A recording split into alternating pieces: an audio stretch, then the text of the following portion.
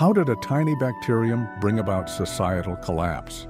In the mid-14th century, a devastating plague known as the Black Death swept across Europe, Asia, and Africa, claiming the lives of an estimated 75 to 200 million people.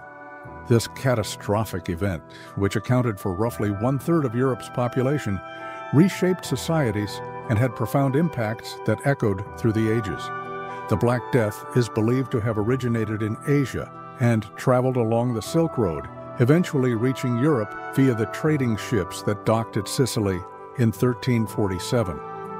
The disease was caused by the bacterium Yersinia pestis, which was transmitted through the bites of infected fleas living on black rats that were common on merchant ships. Symptoms were gruesome and swift, beginning with fevers, headaches, and chills, and quickly progressing to painful swelling of the lymph node